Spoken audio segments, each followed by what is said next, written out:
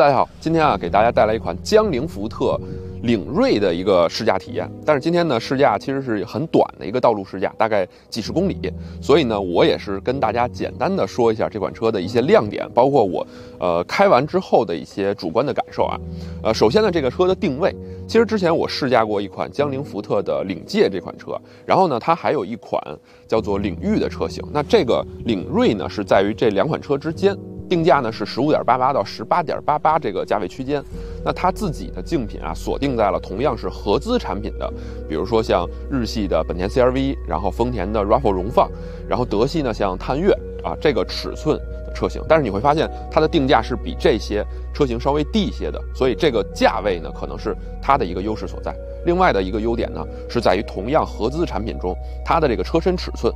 啊，尤其是宽度，它的宽度达到了一千九百三十六毫米，真的是非常宽。你会发现比同级的很多 SUV 都宽。然后另外呢，轴距两千七百二十六毫米，这个轴距其实也是算有一定优势的。然后呢，呃，这个宽度啊，就是你能明显看到这个视觉效果上，它停在这儿就是非常宽的。呃，宽的有一个好处就是它车内的横向空间感是特别强的，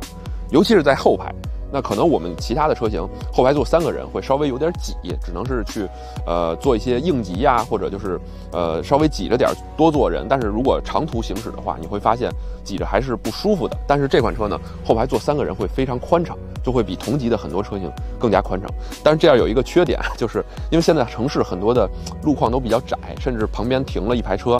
你再去过的时候呢，这个很宽的车身会给你的一定压力。但是这个车还有一个好处啊，就是它有比较强的驾驶辅助功能。这个后边我去说，这个可能会在你开车的时候呢，去帮你缓解这样的压力。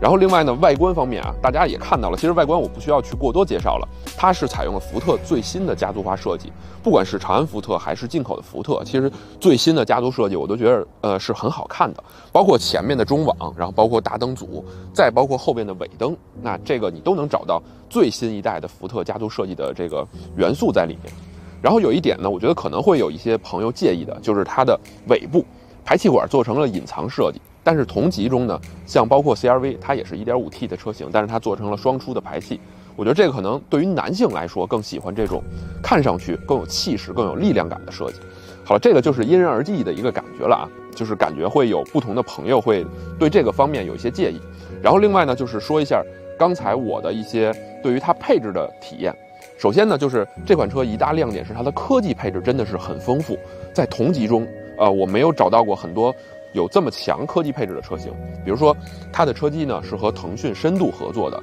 TAI 四点零的一个智能车机系统，它搭载了车载微信，然后这个呢方便我们在开车的时候，比如说突然有人给你发微信，如果用手机回复呢是不太方便或者是不安全的，那它可以通过方向盘左边的一个按键，直接用语音把这个微信播报出来，而且同时可以用语音回复，那这个呢就方便你在呃就是开车的时候必须要回微信的时候。可能会减少你的一些不必要的危险，然后另外呢，它的呃车载的，比如说爱去听的这个功能，可以丰富你的车载的娱乐系统。另外呢，它的语音识别也比之前我体验过的腾讯的车机，在反应速度和识别准确率上有明显的提高了。然后还有它车机里面其实不光是腾讯的应用啊，像高德地图，然后像呃华为的 HiCar，然后像百度的 CarLife。都在这个车机上可以找到，所以其实这个车机它涵盖了是目前市面上主流的这些车联网系统，啊，给我们自己可以选择，这个还是挺好的。另外呢，它还配备了一个 AR 实景导航的这么一个功能，但是呢，因为它的车这个车载的屏幕是一个横屏设置，并且呢位置不是特别的高，所以如果你去应用这个 AR 实景导航的时候呢，你还是需要稍微低点头或者有点这个。偏转头部的动作才能看到，但是呢，现在很多的 AR 实景导航都已经集成在了 WHUD 的抬头显示上，所以呢，相比较那个带抬头显示的功能的实景导航呢，我觉得这个目前它的这种可玩性，就是玩的感觉，其实呃会少于它的实际应用，所以还是那个带 HUD 的会感觉更好一些。然后另外就是。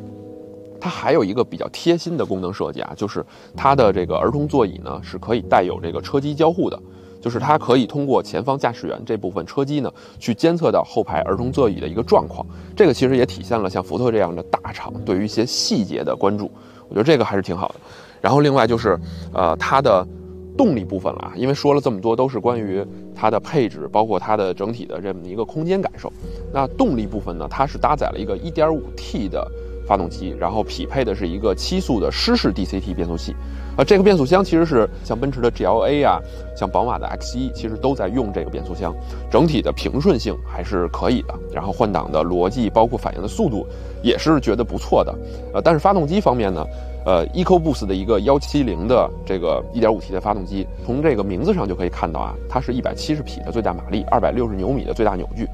呃，账面参数上是比那些同级的，像日系 CRV 啊什么要高一些，但是因为这个车的尺寸在这儿摆着，所以刚才我们实际的体验呢，车上三个人，然后跑高速的时候会感觉在超车的过程中没有那么果断，会稍微有一些吃力。呃，但是城市使用呢，因为它调的。呃，低速的低扭状况不错，所以呢，在这种城市的，呃，低速行驶，包括我们常用的，呃，八十公里以下的这个速度呢，我觉得动力还是够用的。所以这款车呢，如果你是追求一个非常好的一个动力表现，它可能没有办法达到你的预期。然后包括它的操控感，它的前悬架是麦弗逊，后悬架多连杆。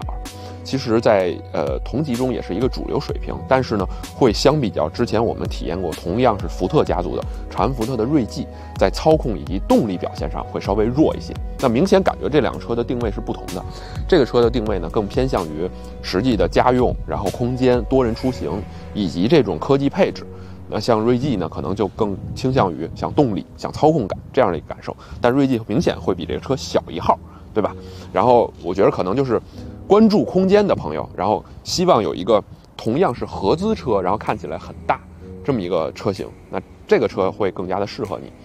然后另外呢，说到了呃科技配置，其实还有一个点也是这个车的亮点，就是它的驾驶辅助功能。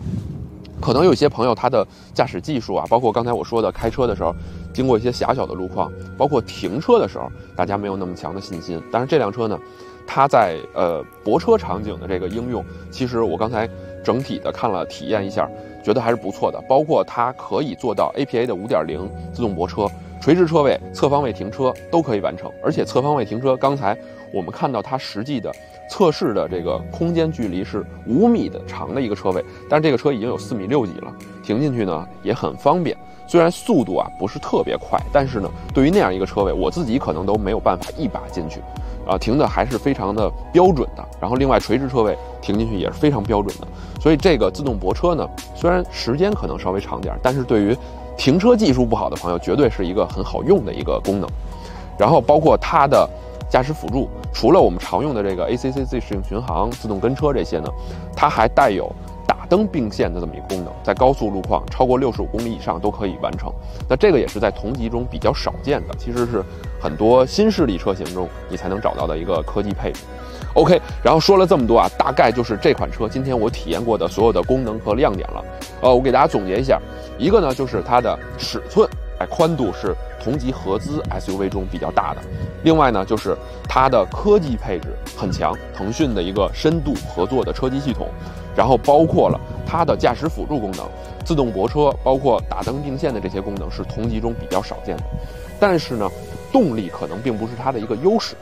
然后呢，还有就是它的定价十五点八八到十八点八八的这个价位区间，在合资产品中，如果过去你花这些钱呢，你可能只能买到一个乞丐版或者一个低配。但是这个价位已经比同级别的合资车型要低一些了。那相对来说，性价比还是不错的。所以呢，如果大家看中这个车的一个尺寸，然后呢对动力要求不是那么高的话，可以去看看这款车型。好了，以上就是本期的全部内容了，一个简短的体验，我们下期再见。